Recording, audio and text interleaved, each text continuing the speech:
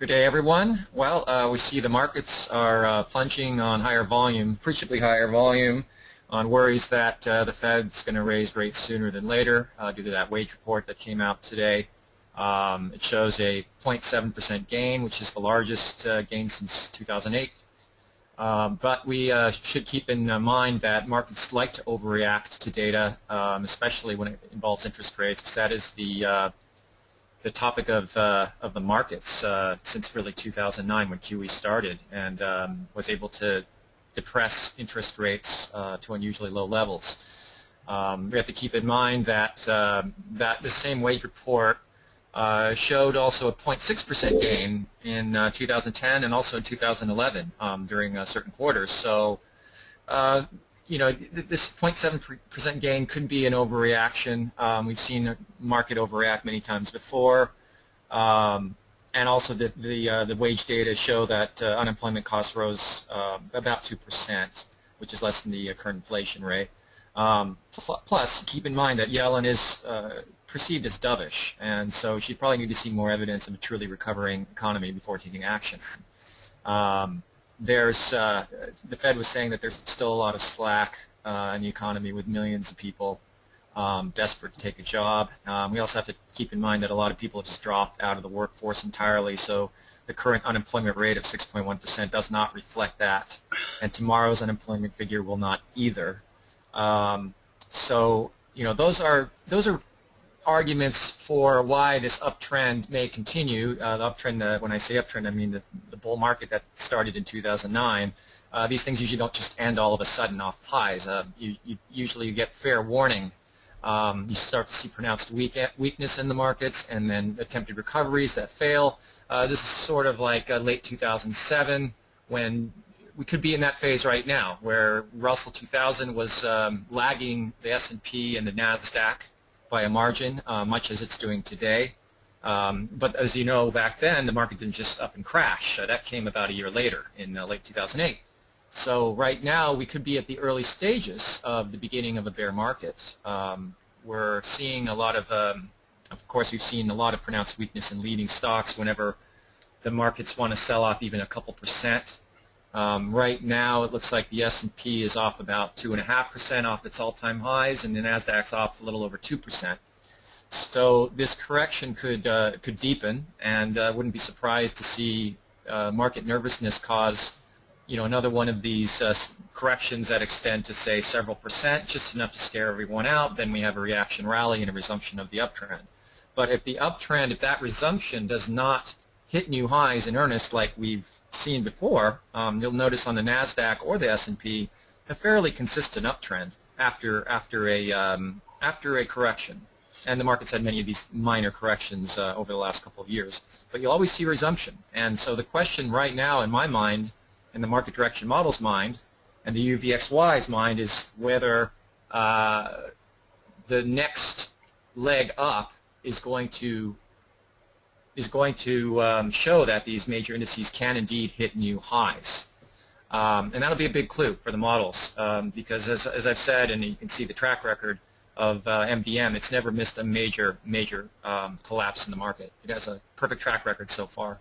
So, um, and it's simply because the market does give clues before the, uh, the day of doom, before Armageddon does, uh, does occur.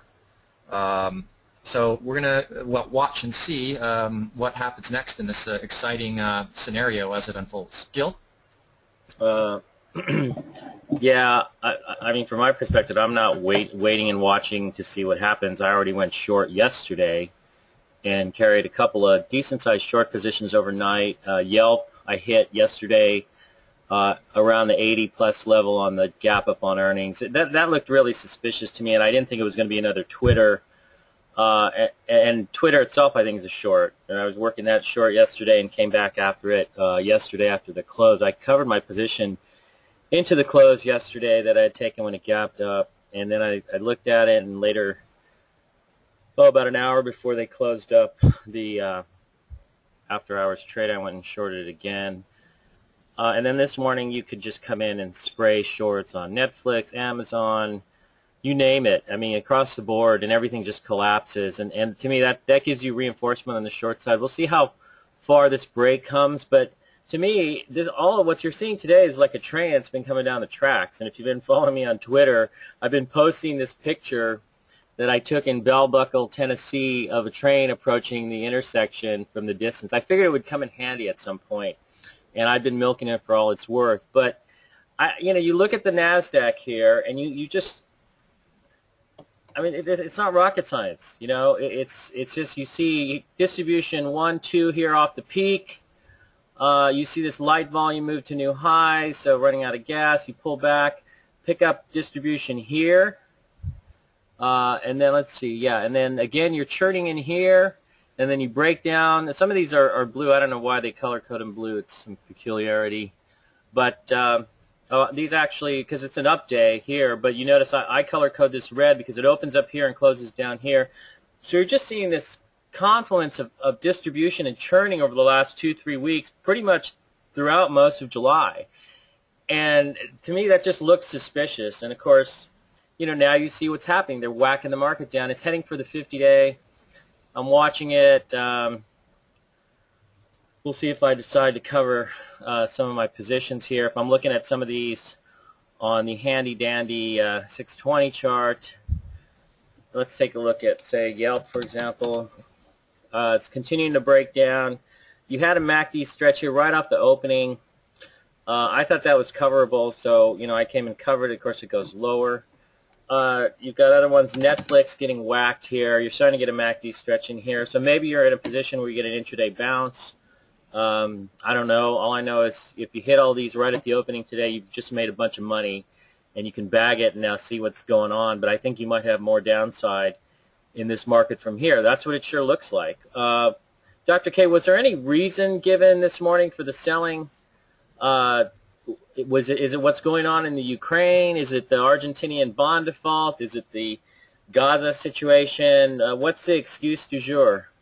Yeah, of course, it doesn't really matter what the reason no, right, is. Right, um, but I'm just curious, is there a, a reason? Know, um, you've got uh, Argentina, Argentina, Argent, or, or Argentina, Argentina, is, uh, India, uh, Argentina, Argentina is uh, having problems with their um, being able to pay their debt.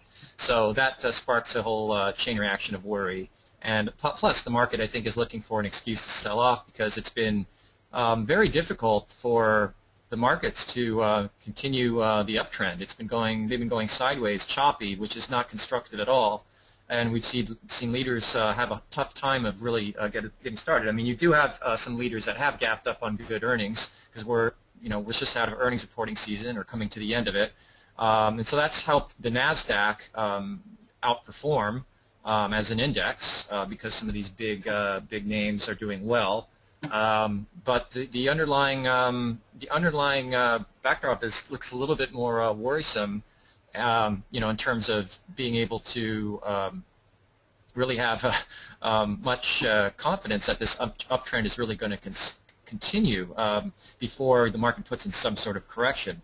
Now, right. the, the long, over the longer term, we don't know. You know, this uptrend could certainly continue uh, most people predict way too way too soon in advance um, when they try to fight the Fed that the uptrend is over and the bear market has began.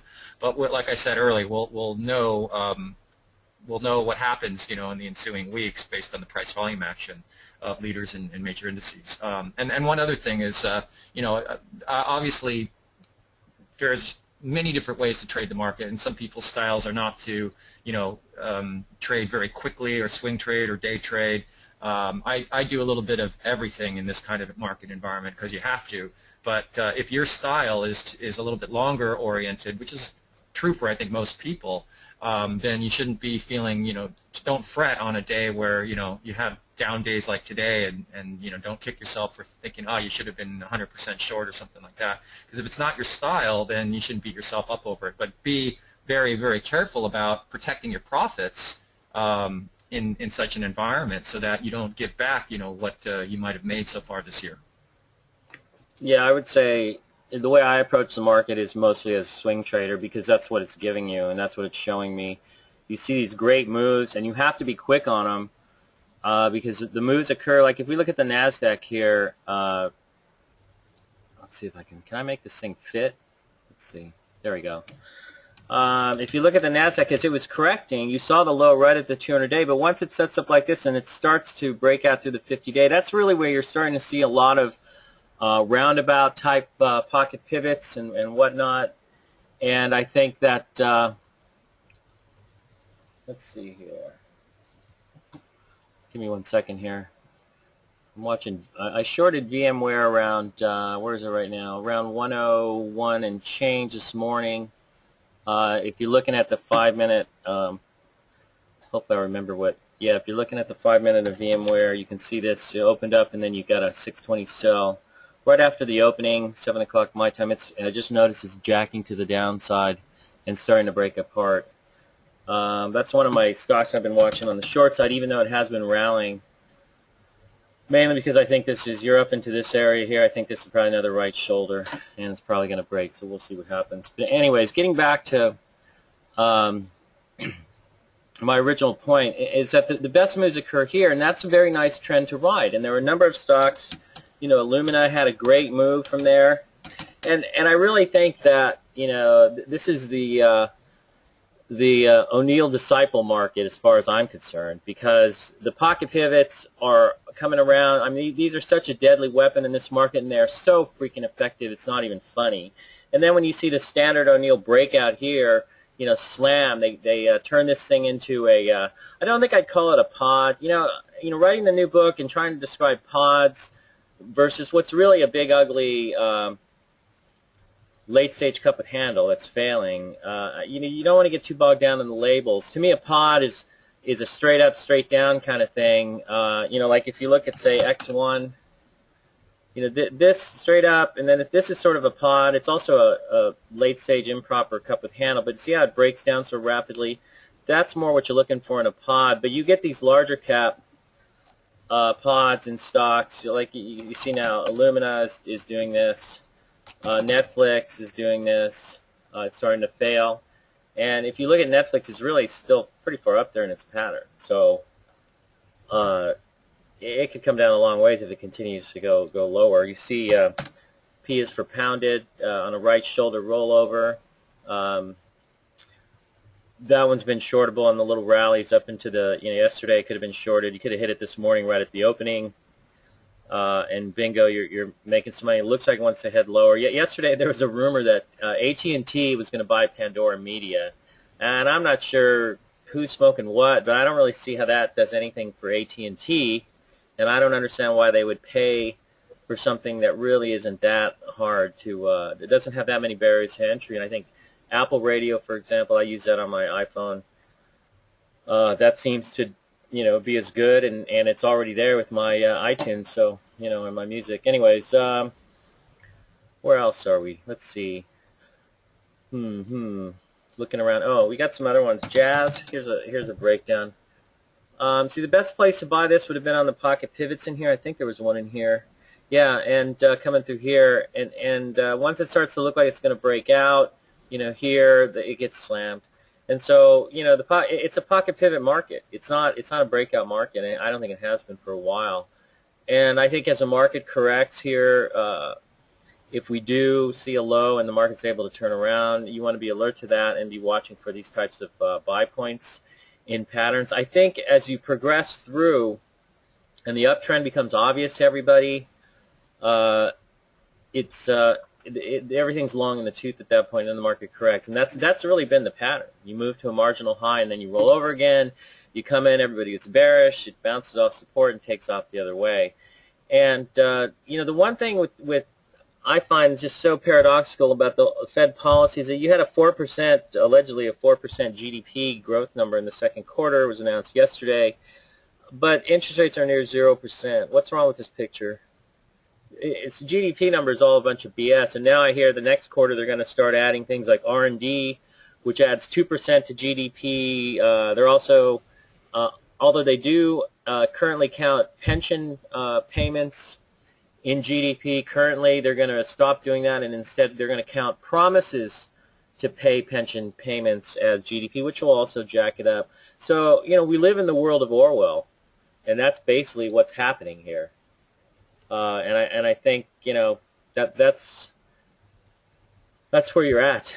And the government's going to sit there telling you how you know everything's okay, but they're slacking the job market. No kidding, they're slacking the job market. Most of the new jobs are part-time jobs. And if you look around, uh, Dr. K, I know you're in London, but uh, you know out here in the U.S., I don't see it. You know, I, and, and these idiots on TV talking about how fantastic the economy is, and now we're at a point. I saw somebody babbling about how we're at a point now where the economy can take over on its own. Great, then let's see you uh, raise interest rates. Let's see what happens. Uh, but you're not going to see that because they they can't they can't do it. Uh, anyways, I'm babbling. We got any questions out there? I mean, you're looking at. Um, let me show you some more names. I mean, Amazon. You know that that was a short here. You gap down underneath this area of support. You try to rally up into it. You could short it in there. This morning it was around 320. You could have hit it there. You're down at 313. Uh, let's see on the five minute.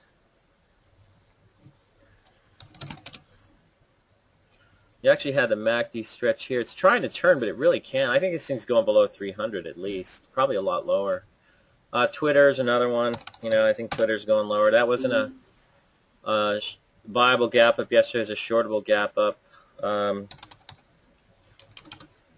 Dr. you didn't like that gap up at yesterday at all, right? He, you actually were right on that. And you came right like up to this area of, of resistance. Holes in pattern.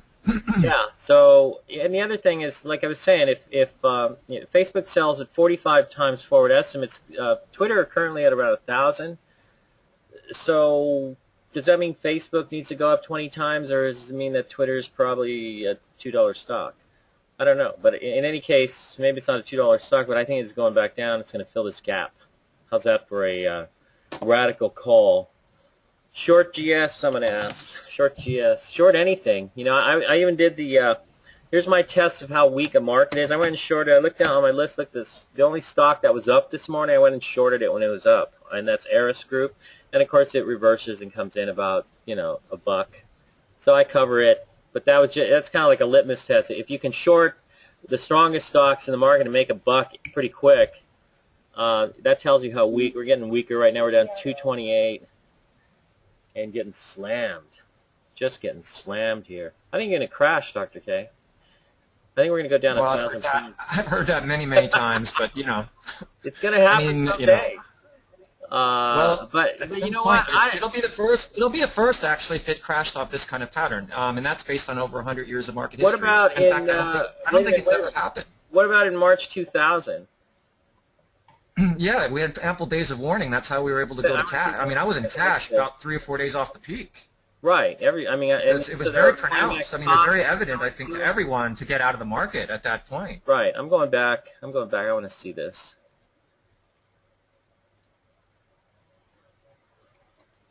Let's. I'm going to make this smaller. You know, and if you didn't get out, uh, that first that first sell-off was brutal. I mean, the, the Nasdaq lost 13% off its peak, just straight yeah. up, and then it made a re weak retest of old highs. So yeah, so no one had any excuse to stay in that market as it started to move lower. Yeah, so you know, in an environment where we've had so many firsts, here's a nice break off the peak in uh, 2000, early 2005. That's a pretty sharp break. Uh, so that you know that's one where the market does kind of crack altogether right there. There's here's another. Well, not that's not really one. Here's another. Well, but but right the percentage the percentage loss. It's not. A, it wouldn't. I don't think anyone ever called that a crash. Um, no, it's all relative. I mean, I mean the, the Nasdaq corrected uh, when all was said and done. It corrected about eight percent. I mean, not even off that whole yeah, thing. So what would be a crash? Five percent or more on the downside? I would say I would say several. If you had one one day where you lost several percent, and then overall, you know, if the if the market say lost 15 percent in just a few days, that that would be, I'd call that a crash. So tomorrow then we'll have Black Friday tomorrow. Anyways, let's let's get some more uh, questions going here. I don't know. I just think this looks pretty ugly, and it looks to me like it's been setting up for the last couple of weeks. Even though, you know, admittedly, you can make some money, you know, trading this stock. About this off the 10-day, it runs up and of course, you know, sell into this. Earnings come out today. It's going higher in the faces. That's a pretty strong stock. Um, you know, Tesla is a buyable off the 10-day. You had a pocket pivot yesterday, but now it's reversing. Earnings come out after the close. This RFMD that we put a buyable gap up out on last uh, last week uh, had a almost a 10% move in in three days. You know, and if you're long that, it's like, okay, what more do you want? Uh, so I guess you can't get too piggy. Please define and describe RAPP. You're kidding, aren't you? A roundabout pocket pivot. It's, you know, like, like it's when a stock is rounding out its base and you get a pocket pivot like here, and it's coming around off the lows of the base, and you get a pocket pivot coming up through the can come up the, through the 50-day. In this case, this one comes off the 50-day and the 10-day. 50 days is the blue one. The 10-day is this sort of purplish thing, and uh, that's a roundabout pocket pivot that occurs in the base, and those are much better pocket pivots than uh, or, or those are the pocket pivots you want to be buying rather than buying the breakouts. So, you know, if, if you have more questions about that, I would suggest reading our book. Uh, there's also an article. Is that posted on the website, Dr. K? The article we wrote about uh, roundabout pocket pivots, weapons for the QE market. I think it was something like that. Yeah, I mean, it should be um, listed on all the different uh, articles we published. Yeah. Um, I mean, if they look at in the news, in the news, then um, that we should be listing all our publications on that. Somebody says uh, short SOXL has been the trade, uh, has been money for the last weeks and is a leading indicator. Yeah, that that's telling you too, and you can see that starting to break. but I think also the divergence between the Russell 2000 and the rest of the market. If you go back, um, let's see if I can find this. I know I've got it somewhere in here. Here we go. Uh, here's a chart I have. If you go back to, uh, whoa, this is 2007. Is this right? Is that right? That doesn't look right. This is a current one. This is where we are uh, with the Russell right now. And if you go... Wait, no, um, that... So right, here's the IWM. In 2007, yeah. in October, it broke down to the 200-day, tried to bounce, and then rolled over. At the same time, the NASDAQ moved to new highs. And then when the NASDAQ blew apart, uh, the Russell blew apart along with it, and everything blew apart, and that was the market top. And so that's when I remember seeing the Nas, uh, the Russell uh, diverging so much. But the other thing is is that we also saw, I think, a, for a period of time. Where, let's see, where's the uh, S&P chart. I mean, if you look at the S&P, it's been pretty steady. And it started making new highs. You know, it was moving to new highs in mid-May, in the end of May. And at the same time, uh, let's go back to the present. Down 230 now. It's getting uglier. I, I think we clear minus 400 on the Dow. It's only, uh, we're not even halfway through the day. This could be exciting. Finally. I think I came back from vacation just in time. anyways, uh, let's see. Okay. Where are we? We're getting closer. Bear with me here. Be interesting is the, uh, the, the semiconductor index was um, one of the most lagging in indexes uh, in 2000 and uh, I think it was in 2000 and yeah, late uh, late 2007. So um, again, that so might, and so you know you had a massive divergence with with right. the semis, and so right now it, has been very strong. Um, so what it'll again it'll, it'll be telling when um, when the markets finish their selling off and they try to rally again if the uh, semiconductors lag as much as they did back in uh, late 2007. Yeah. And you can see we did have a divergence in May as the SP was going to new highs and NASDAQ was still lagging. We weren't sure if that was a problem, but uh, as is often the case in the QE market, everything was able to come out. But I think what you do is you uh, leading stocks for uh, pocket pivots within the base or roundabout pocket pivots. So um, let's see. ANET. I don't know. Sucked you in on the gap up yesterday or the uh, pocket pivot. It's holding up, but you know I don't. I don't really like this. It's kind of V-shaped here. You look at the weekly chart. It, there's nothing really going on there. I don't know when earnings come out. I think not for a couple of weeks. But I don't know. You know, you want to buy it in this environment. I don't think you should be buying anything. Save, and I don't know. I don't. I don't think you should be long anything. Okay. Uh, I dumped all my longs. Whatever I had left, I would take profits into the rise. Maybe I'll hold on to a small core position but everything, I, I, lost everything today. So whatever I had, I think I had some G Pro, I had some RFMD. I had Tesla, and I actually sold Tesla at 230 this morning in pre-open. Went a little higher, but you know, better just put that one in the bag uh, or in the bank rather. Uh, but I wouldn't be long anything. So, you know, as far as I'm concerned, if you're long a stock and you're asking us, you know, should you sit with this? My answer is no, get the hell out. You can always buy something back. Don't marry the stock, especially when you got the Dow making new lows and we're down 2% on the NASDAQ and volume is up pretty good. Uh, moving averages are central to finding areas of resistance for setting up shorts. What about situations where the stock is below all of the moving averages? Amazon, for example. I think I talked about that already. Then you use uh, reference points like technical resistance, which would be the underside of this little flag right here, and that becomes your resistance level. The other thing is, you know, you get up into here, 324, 325, I think, and you're within two, one and a half to two percent of the 50-day moving average. So you're close enough to short it. You know, it doesn't mean it's going to immediately roll over. In this case, it did, but I think it just tells you how weak the market is. So you can use those uh, as well. Or, you know, if you want to short them in midair and use it, like, like yesterday you could have shorted Amazon, use a high of a couple of days ago as a quick stop. You know, if you want to run it really tight, that's generally how I'll do it, and I'll just keep coming back and hitting them and coming back. Like today, in the yet yesterday I was trying to short Amazon around the 320, 321 level. Didn't really do anything. And then this morning they bring it right up to uh, 320 uh, and change and you could just you know come back and hit it again today, and that's working. So you know that's why I like to to short. I'll, I am very fluid. I keep moving. Grub. Interesting. Grub is holding up today. So what? What are you gonna do? You're gonna pile into it? Sell your wife, your kids, your house, all your valuables, and put into Grub here because it's up today, or you know down a few cents in this environment. In this environment, a stock like this will get killed if things get worse. So I'm not going to sit here and tell you you need to buy it. Um, and I don't think it's that interesting. I think being short Yelp is a hell of a lot more interesting. So, or even Twitter, which is now down a buck seventy-five and pushing towards the lows. Um, Dr. K. Dr. K, you still there? I always have been. Okay, good. Just making sure. Uh, when the UVXY buy works, I will think the markets are in a new day, the oceans will start to recede, and the planet will heal. Agree? Huh?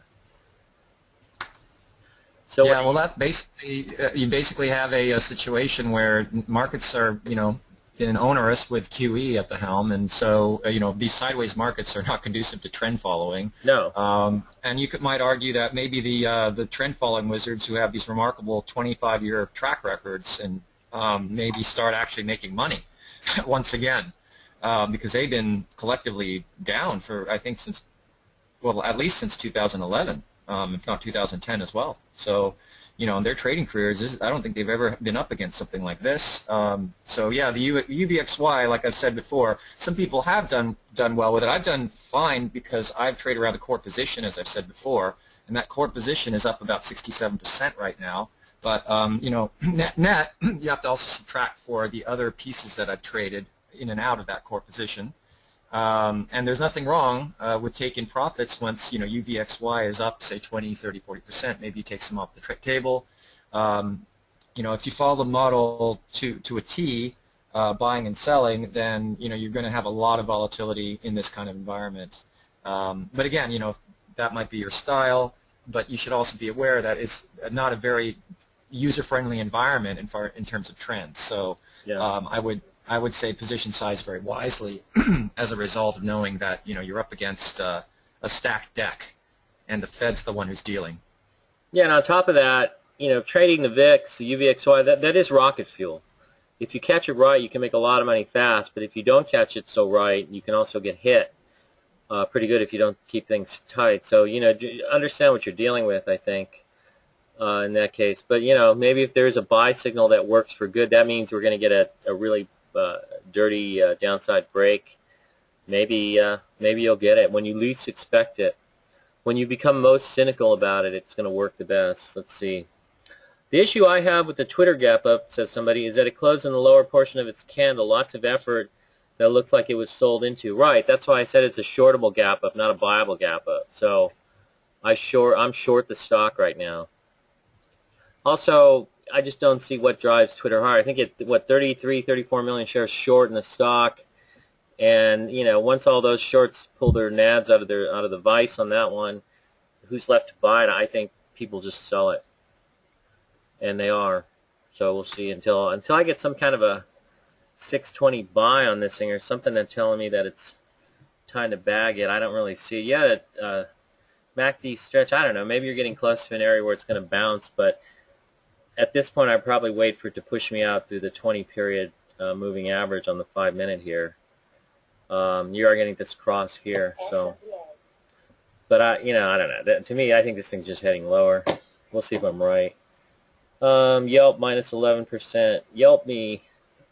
Okay, what else we got? It's 9:32. We're only about halfway through today's webinar. So do we have any any more exciting uh, questions?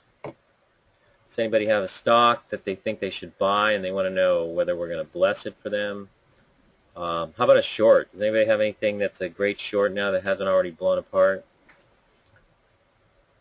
See, when you start getting down this low, this is where I start looking at least cutting back and covering, but I've already done that in a couple of cases and uh, just kind of watching. Um, yeah, this SWKS, I didn't, I didn't like this, uh, and I talked about this in the chat room and of course, you know, people there want to argue with you, which is fine, I suppose. Um, but what I thought here is if you have this kind of a powerful gap up and it holds up like this and it you know goes higher the next day, it should hold up pretty good. Instead, the thing pops right back in. You get several days of above average volume. I thought it might hold the 10-day, but I didn't like the way it acted in here. I actually shorted the stock uh, in here, and it's coming in. It's probably heading lower. For all we know, it's another cavium. You know, that stock had a nice gap up. It actually ran up for a while. Now it's blown apart more or less. It's just come in. It's got kind of lost uh, lost its mojo. Do I think LinkedIn is shortable? Well, earnings come out, I guess, when? When do earnings come out on this thing, Dr. J? Today? I think after today. Uh, yeah, after today's uh, market. Um, do I think it's short? I don't know. I'm going to watch it after hours. And if they gap it up or something, maybe I'd short it, or even if they gap it down.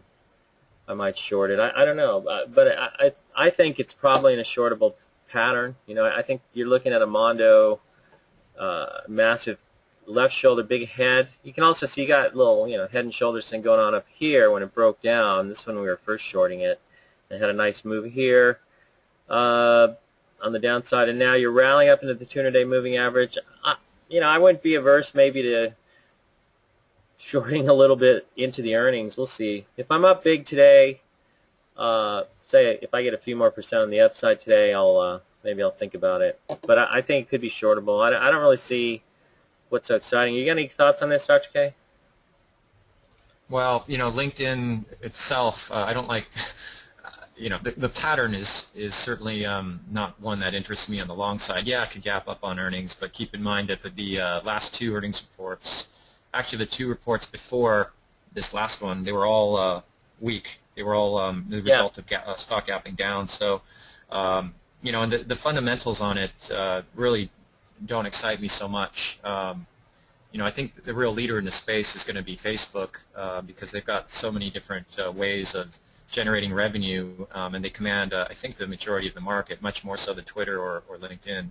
Um, and they also, I think there's a, you know there's studies about how much time someone spends on Facebook, so uh, which is far greater than on either LinkedIn or uh, Twitter. So the, yeah. Facebook's got a lot going for it. Um, LinkedIn is you know go with the best. That that's always my recommendation. You know don't look at uh, follow-ons. LinkedIn certainly is the best in its space, but in the social networking space, uh, Facebook commands the most um, the most audience uh, and you know, they, again, it's got a lot of challenges ahead itself. Uh, I'm not saying that Facebook's in the, you know, in the clear here and it's going to just all of a sudden fiercely uptrend. I'm, I'm not expecting that either. It's a very competitive space, but at least Facebook does have um, an edge over both LinkedIn and Twitter. Yeah, and, and Facebook hasn't even held its uh, buyable gap up. So yeah, but you got to think about this. It's kind of a this is late stage, so uh, probably too obvious. Not going to work. Um, let's see. Let's see, I probably missed Chris's answer to my previous question as to what his issue was with the Twitter gap up. Um, I think we both have the same issue with it, and basically that. Uh, do you want to you want to go and pontificate on this, Dr. K? Yeah, sure. It's um, you know the last it's, it's had two gap downs in the pattern as a result of um, weak earnings, and then the last earning, of course, the current one was strong, surprised the markets. Uh, but the pattern has has holes in it, so on a technical basis, I'm not really interested in this kind of thing. I mean, I'd much rather be focused on names with with good technicals. Um, and like I said, with the fundamentals, yeah, they're they're looking better but I would rather go with the leader in the social networking space, which is uh, which is Facebook right now. Right, and it's it's and now it's confirmed as far as I'm concerned. You could use uh, the low 45.50 as a stop on a short. That's probably what I'll do on the core, but I'm, I'm watching this as it comes in. I thought it was a little bit was covered, but We'll see what happens here. Um,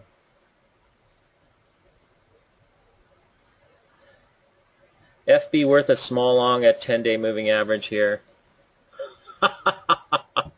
You're not serious, are you? Hell no, I wouldn't touch it. It's a, it already failed on the uh, on the breakout. I, you know, I wouldn't buy the stock. I, th- I think Dr. K may actually have a point this time around that it's overowned. It's the big, the cap size is way too big now. Everybody on the planet owns it. Everybody loves it. It is a great company, but I would buy this at the 10 day in this environment. You know, close your eyes and and I guess you know stick out your hand and see if you can catch the falling knife. Good luck. Yeah, well, th this time around, I, I, I was pretty bullish on fa- I was bullish on Facebook early on. I mean, right. like a year ago, because of the, the, the platform it's standing on. Um, and uh, you know, it's it's proven out so far, but it's a tough one to trade simply because it tends to violate the 50-day. Yeah. So you know, it, you got to have you got to in this kind of stock, you got to just take your profits really when you've got them.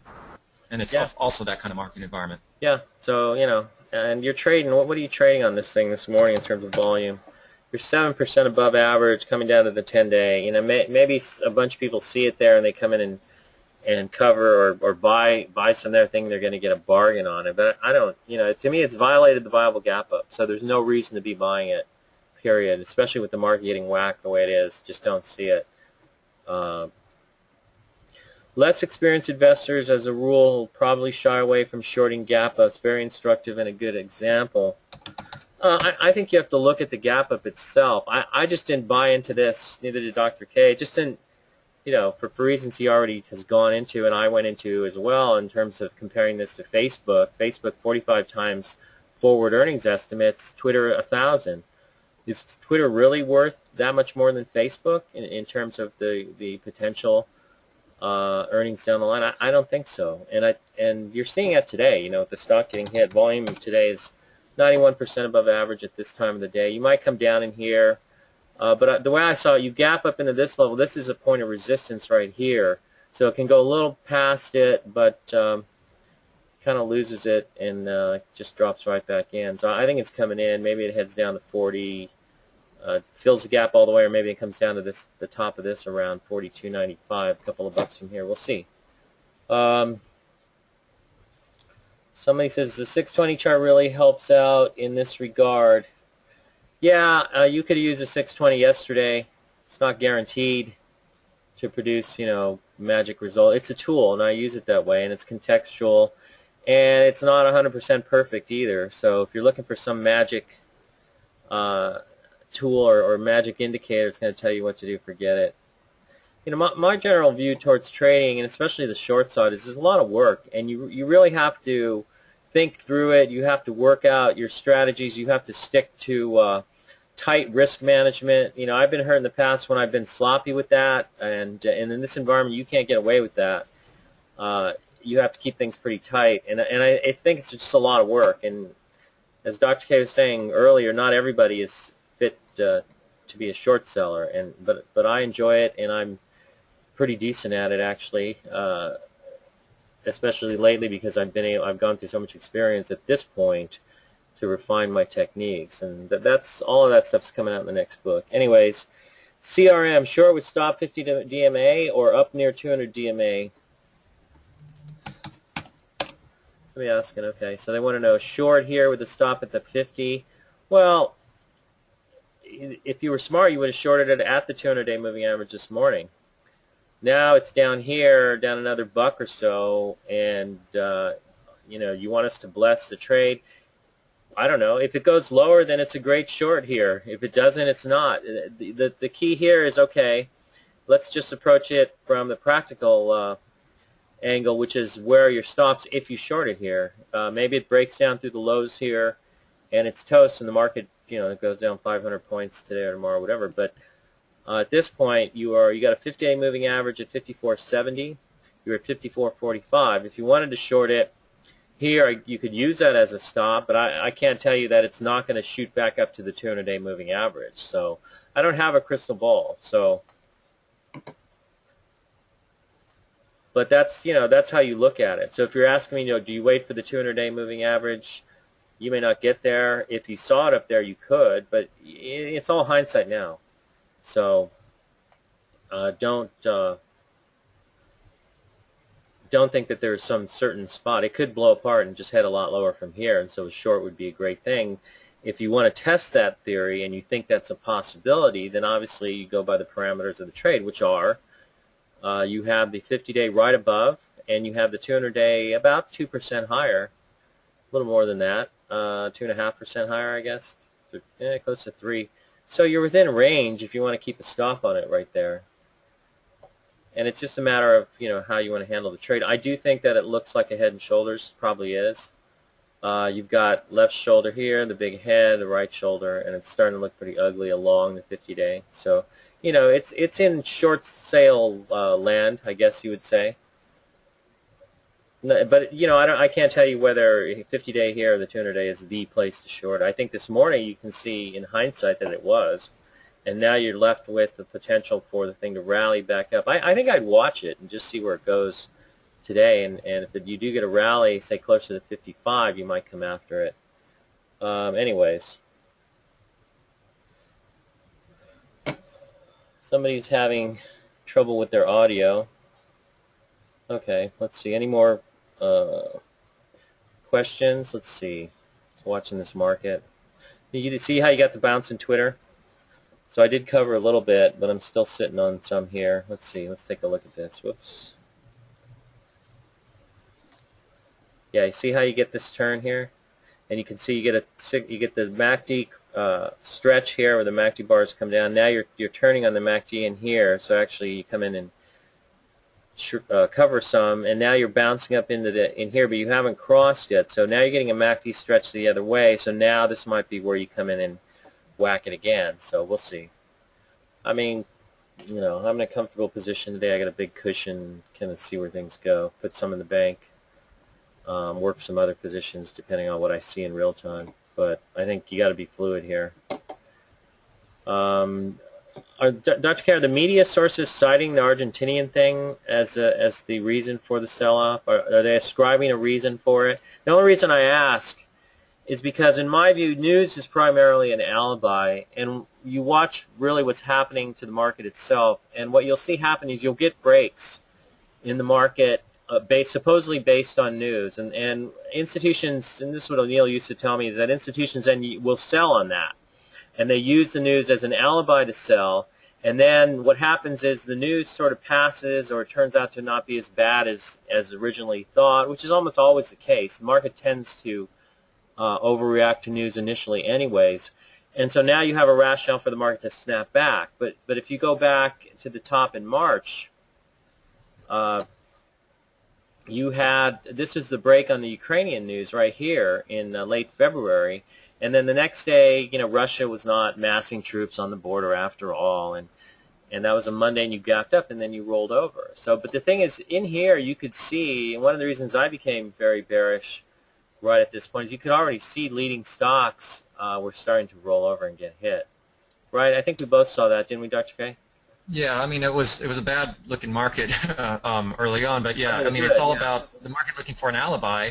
If it's weak, it will. You know, it's funny because uh, it's always been that way. I remember, you know, asking my mom when I was a kid, you know, it seems like the news sources will find a reason for any for anything you know, right. for, for to explain, oh, it's up because of this or down because of that. It, said, how come how come the news always gets it right?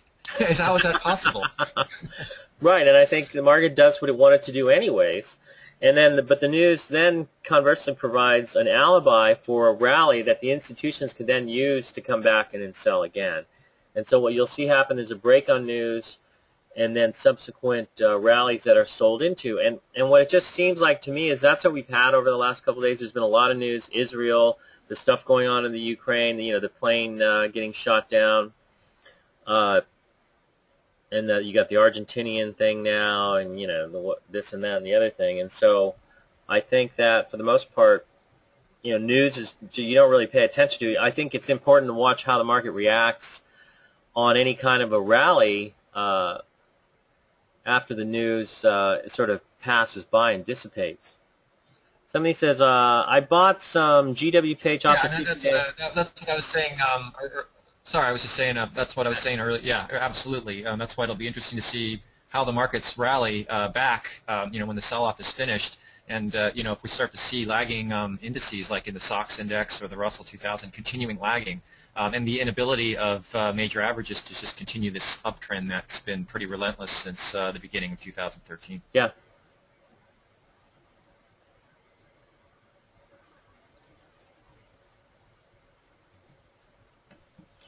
Um, let's see. Here's a question. I bought some GWPH off the 50-day moving average a few weeks back. What do you think of the overall pattern of the stock? Well, what do you think of the overall pattern of the stock since you're the one who bought it off the 50-day moving average? So, you know, what, do you, what is there to think here other than to look at the pattern? You see a cup with handle breakout. It's at the 50-day now again and right on top of this breakout. If it fails, you know, you're going through and uh, yeah, keep your, keep your stops keep real tight on this here. one because I could I could see people you know taking a nibble or you know thinking you know it hasn't pocket pivoted so that that's a warning sign, and this yeah. is the third time it's testing the 50 day. Keep in mind that when the more a moving average gets tested, the more likely the stock is going to break through it. That's not to say um, it's going to find its feet and start you know going higher again, but I would keep your stops very tight. I wouldn't wait for a violation of the 50 day. I would just I would be selling it if it, you know, right now the 50 days at 83.56 and the stock's at 84.63. I would be probably a seller of this if it went down to like 82.99. You know, I mean, very tight. So uh, at this level, I mean, you're only going to be risking maybe you know a couple percent. Because when yeah. it goes through that 50 day, it's gonna it's gonna cut through it, possibly cut through it like a knife. Yeah, and if I owned it, I would just sell it because of the general market environment. Uh, because I, I don't need to be uh, surfing in waves that are going the opposite direction. You know, I've never been to been able to catch a wave uh, that's coming into shore. I've never been able to ride it going out to sea, so I'm not even going to try. Um, Let's see, any more questions? Somebody says, uh, Dr. K, uh, they, they see why you like London, was there last week on vacation, better look to the right when stepping off a curb. Those damn buses drive six inches from the curb. That's so somebody, uh, we had a subscriber in, uh, okay, my order system just uh, hit all my trailing stops and I covered all my shorts, so I'm in cash. So we, here we get the little bounce here, we'll see what happens. I'll have to come back and take a look at everything. But nice, nice day so far. And We're not. We're just about halfway through, a little over. Uh, headline: Chicago PMI collapses to 13-month lows, biggest miss on record. Yeah, so 4% yeah. GDP. Sure, Ben. This is another thing I think is an issue, Dr. K, uh, which maybe we can debate. I don't know, uh, depending on how you feel about this. But you know, the idea is that QE will just continue to push this market along and everything's going to be fine. The Fed will just, and if things weaken, you know, and I heard someone talking about this, say that Yellen is ready to do whatever she needs to do to keep this economy going. Uh, it's kind of like saying, you know, you got a patient that's on life support systems uh, on the in the uh, uh critical care unit, uh, and and uh, you know they're going to keep it on life support machines as long as possible. It doesn't change the fact that it's still dead and might still die. But anyways, yeah, you know, you know this is I, I, like I like all these things that have just been thrown thrown out thrown um, on the table right now. Um, you know, you got the Chicago PMI, which is showing a lot of weakness, but just earlier today, uh, the markets were concerned that uh, this there were a couple of uh, reports showing strength right. in the economy, and that was a cause for concern that uh, that's going to prompt the Fed to um, hike rates sooner than expected. But you know, with the Chicago PMI being so weak, I don't think the Fed really there's going to be enough evidence, I think, that, that the Fed's going to have to delay hiking rates, um, you know, for, for longer Yeah. than even they think. Now, And- but and- what the happens? market wants to market wants to sell off. Um, it, market right now is at this juncture is it's in a weak weak place. But that's not to say it won't find its floor, say five percent off its peak, and then start start going higher again. The question is, yeah, the, uh, I've I've often said, you know, the economy is, uh, it, it, you know, the Fed pumps pumps money in the economy, which is like, uh, you know, pumping morphine into a critically ill patient. And uh, meanwhile, you, they're not working on the disease. The disease is running rampant, um, but they think you know making the patient feel better is going to make the patient better, and of course it doesn't. The patient eventually dies. So the question is, how long how long can they continue to pump morphine and you know money into the economy um, before we really see a major top? Um, and uh, as a result, uh, central banks' hands are tied because they've been printing en masse for a number of years now. And if that's not going to do it, you know, what is? What will actually Right. actually do it? You could Right. see some substantial corrections as a result of this. Um, right. What if we, things get a lot are Quite worse? exciting in terms of uh, the, you know these. The, you know, when we finally get that kind of break, that, that means there's a dislocation from QE and a potential restoration of uh, more normal market environments. Um, you know, 2008 was great for the model. The model loved 2008 because you didn't have QE in the system and it was able to detect all the selling pressures, so it was able to go to sell signals and, and reap the rewards. You know, I think the model is up something like close to 40% in 2008. Um, so, you know, that I think that was just trading the triple Qs. If you were trading, um, you know, they didn't have 3x ETFs then, but if you're trading those, you would have been up over 100%. So I, I'm I'm hoping for a return to normality of some sort, um, and that's why I say maybe this is an exciting time for us because it represents a changing of the guard. Well, my, my point really is simply if the Fed has interest rates near zero and the economy, uh, even the global economy and the U.S. economy in particular, continue to slow and show become weaker and weaker, what do they have left? They have they have no you know they got nothing to pull on at this point. Um, there's no slack in the line basically, Yeah. and, uh, exactly. and and so you know that that could do it. So. But you know, ultimately, as a trader, uh, you know, what happened in 2008, 1999, 1990, whatever, I, I don't really care. I, I need to know what's going on right now, what I need to do right now to make money.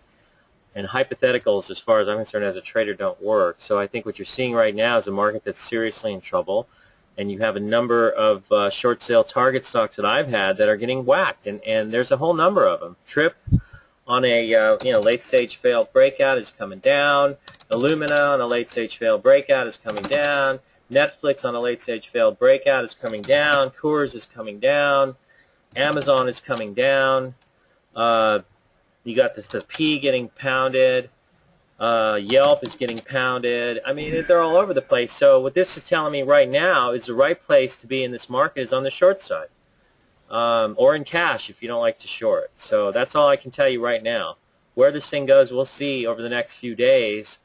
But I wouldn't get locked into a rigid point of view one way or the other. And uh, uh, you know, I just try to stay in the present, and uh, that takes a little bit of work. But I think that's the key, staying in the present. So I don't really care, Dr. K, what happened in 2008 and what might happen and, and all this other stuff um, and what the model did and what environment, you know, what happens today, what happens right now, how do I make money? You got an answer for that one? Yeah, absolutely. I mean, you know, that you got to be in the zen. You got to be in. Yeah. I mean, that, that that goes without saying. No matter what market you're in um, and what you're doing, I think that goes without saying about life in general. You know, just to Yeah. stay in the now. Um, Eckhart Yeah. Tolle wrote a few great books about about that philosophical concept, and I think everyone who hasn't read it, anyone who hasn't read it, should read um, A New Earth. I think that's his best work and most comprehensive as well and it's just um, it, it, when you when you pick it up and you start reading it, it's a page turner. You're, it's going to be hard to put down because you'll find yourself agreeing profoundly and profusely with uh, with the things that he says in there, and his insights are you know just beautiful. So I'm not surprised that that book I think has been translated in what over 50 languages now. Just incredible. But yeah, it's great great food for thought for traders or uh, people in any profession. Um, Yeah.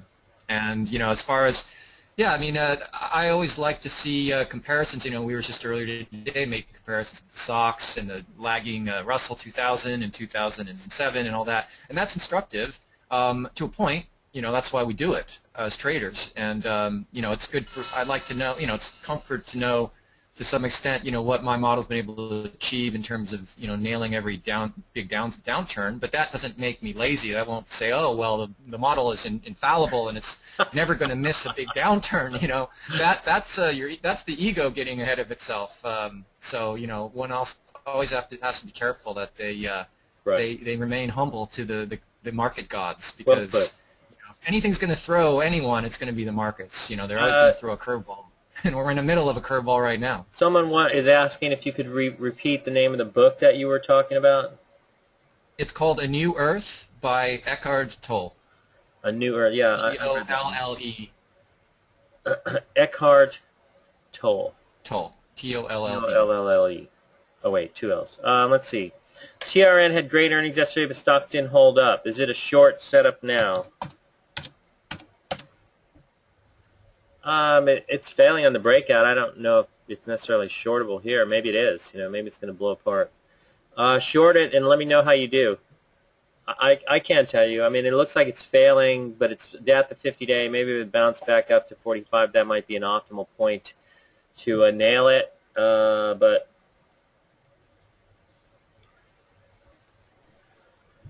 uh, I don't know. I think it's just, you know, what's happening. Everything's getting hit. It was interesting though that they went down yesterday on a good earnings announcement. GBX went up, but no pocket pivot, and no reason to play here.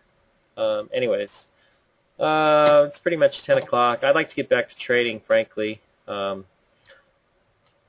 I took profits. Now we're see if we lift here and see where I can come back in or something else new is happening. But for the most part, uh, this market looks like poop. What's your? Would you agree with that assessment, Dr. K? yeah, that would be my scientific assessment exactly. do do deep do do. Um, yeah. Anyways, um, you know, I, I you pine for the days when we return to uh, normal trends. What if we never do? What if, what if the market just stays screwy like this and it's a swing well, traders market? What what do you do then? What you uh, know? Uh, the market's the only thing that uh, that changes is, well, the only thing that doesn't change is change. There's always going to be change. Um, you never get static markets that just stay in the same shape. I mean, that's what makes the markets infinitely interesting and fascinating.